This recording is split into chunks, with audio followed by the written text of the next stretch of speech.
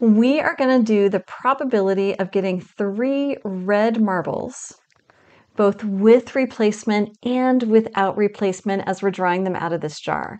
We're going to start with replacement. That means that I'm going to draw that first marble, put it back in before I draw the second marble.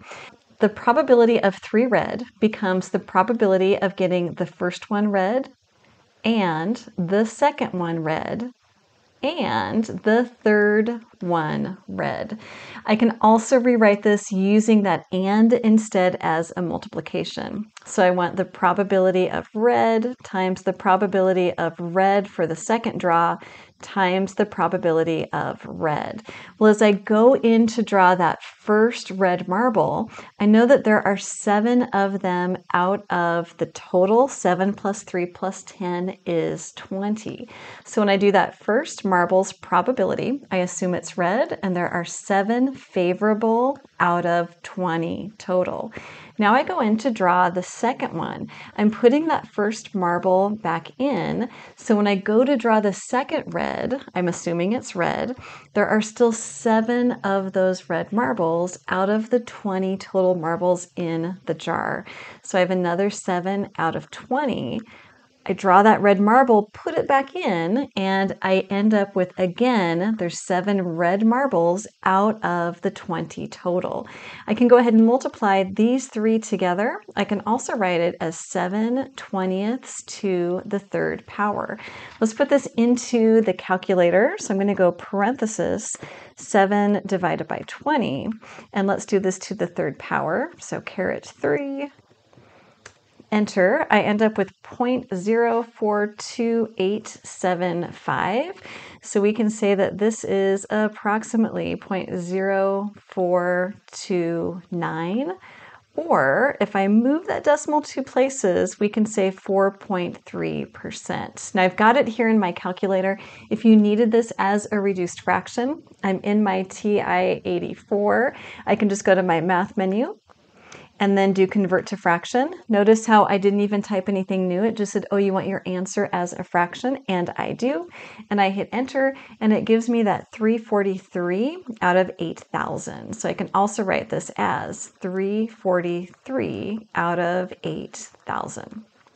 Okay, now let's do this without replacement.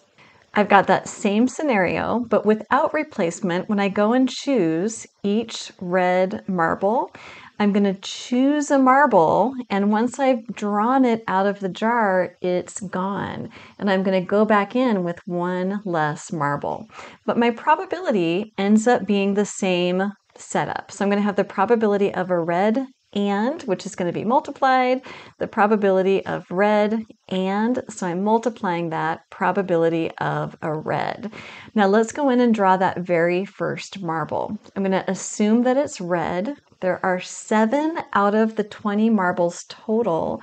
So when I draw that very first marble, I end up with a probability of 7 out of 20. Now here's the difference. I've drawn that first red marble and I'm going to now get rid of it, which means that instead of 7 marbles, I now have six, three, four, five, six. So I now have 6 marbles remaining.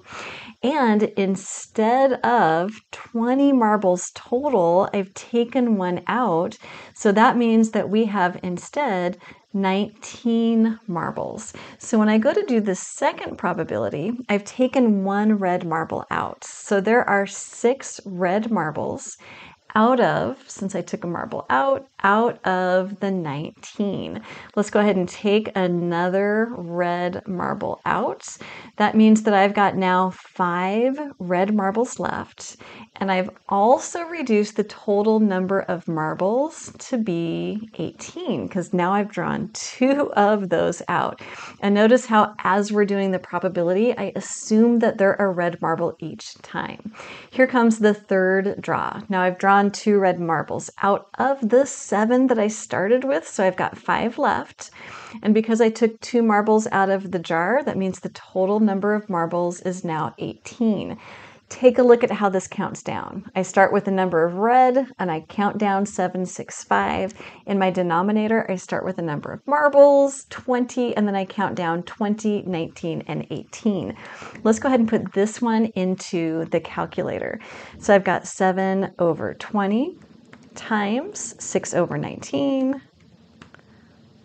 times 5 over 18. I can do this either as a fraction or I can do it as a decimal. I'm going to convert this as a fraction right from here. So I'm going to go to my math menu and then enter to choose convert to fraction. And it gives me that reduced fraction of 7 over 228. That's my probability as a fraction.